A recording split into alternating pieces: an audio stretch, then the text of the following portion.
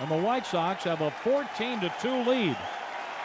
Former White Sox infielder Tony Graffanino is one for three, facing Politte today. The pitch, a long one to left center field. Podsednik back to the wall, and he reaches and makes the catch for a White Sox winner. Another strip of bacon, that's gone. The White Sox have won game one of this division series 14 to 2 over the Red Sox.